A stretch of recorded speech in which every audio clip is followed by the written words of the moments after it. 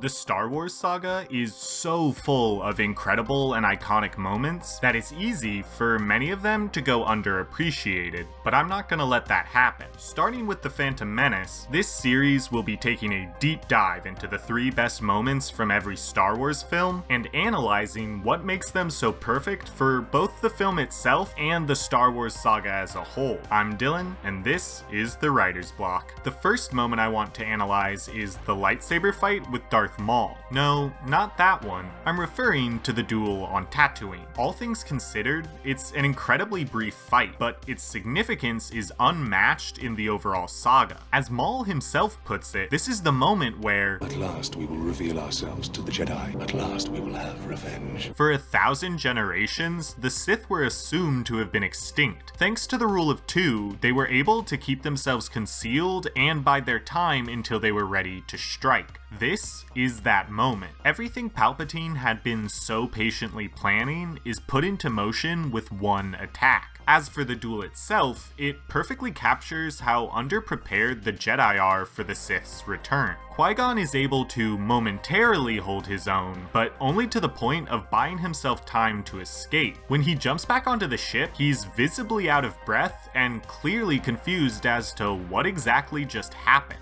The idea that the Sith might have returned is so far from his mind that he even assumes that Maul was trained in the Jedi arts. Some wonder why Maul doesn't use both his blades here, and in addition to making the later reveal that much cooler, it can also be attributed to the fact that he's initially toying with Qui-Gon. He doesn't want to reveal his full strength until he gets a sense of how powerful his opponent is. If the fight had gone on just a minute longer, Maul most likely would have ignited ignited his second blade and made quick work of the most underrated Jedi Master in all of Star Wars. If we look at the prequels as a criticism of the Jedi Council's hubris, this is also the first time their supremacy is questioned. Sure, they're a force for good, but they assume that they're the dominant power in the galaxy. This, along with a number of other factors, is what allows them to be overthrown just a few years later. What culminates in Order 66 begins right here on Tatooine. Also, the fact that this sequence ends with Anakin's introduction to Obi-Wan makes it that much more poetic and significant. Speaking of Anakin, the second moment we're looking at today is Qui-Gon choosing to take Anakin as his Padawan. When our squad of heroes returns to Coruscant, Anakin is immediately tested to see if he is a viable candidate for Jedi training. Despite his innate connection to the Force, Council members such as Yoda and Mace Windu sense fear and a palpable darkness within the young boy. Despite the fact that he may very well be the chosen one, the Council is wary of accepting him because, as Yoda puts it, I sense much fear in you. This once again speaks to the hubris of the Jedi Order. The prophecy states that balance will be brought to the Force, but they mistakenly assume this means an absence of darkness. In reality, there will always be darkness in the galaxy, and the dark side of the Force is not inherently evil. The Council shuns Anakin rather than offering to help lead him down the right path, which is a major part of why Palpatine is so easily able to corrupt him. The only person not not afraid of Anakin's darkness is the Jedi Maverick himself, Qui-Gon Jinn. This is why he so readily questions the Council's judgment and offers to take Anakin on as a Padawan learner. Moments later, Qui-Gon comforts Anakin by telling him to remember that Your focus determines your reality.